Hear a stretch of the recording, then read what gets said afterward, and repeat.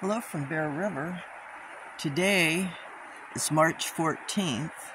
The flow is 400 cubic feet per second. It went down to 200 and looked pretty bad. Now it's went up to 500 and came back to 400. So it's that industrial control of our water flow. And here's the rim dam that I talk about. You can see the rocks over there. But yeah, the flow is a lot less than it has been. But you can see this little kind of rise, um, creating uh, the water brimming over. That's why I, maybe I could call it a brim dam instead of rim. It's more of a brim. But uh, you got some depth here in what I call Beaver Pond 2. You can see the rocks down there really sticking out because the flow dropped. Because uh, PG&E supposedly had some kind of emergency outage. So they dropped it from like 1250 down to 200 in a week. And uh, then they brought it up a little. So here we are. And uh, I had talked about this becoming Beaver Pond 2 here with the willows. I'm making a slideshow for the Sierra Club meeting in May.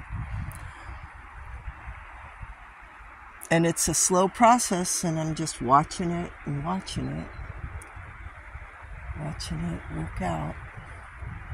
So the far channel this is the channel that showed up eight years ago. The videos have surfaced on facebook. And it was uh, straight across just solid water. And um, here the bank has uh, eroded down to the um, what do they call those things? They put fencing and um, big rocks to hold this bank up when they were trying to preserve the campground. And uh, the things are starting to leaf out, and the river's trying to recover. And uh, we don't live in a perfect world. Um, this is no different than it has been in the past as far as the managed flows and the industrial structural emergencies in and out, up and down, roundabout. I do see over on the island there, I don't know if it's visible, but there's a little wet spot there where those willows are. So groundwater rising. I just wish, I wish, I wish for good things for Bear River. Mini Wachoni, water is life.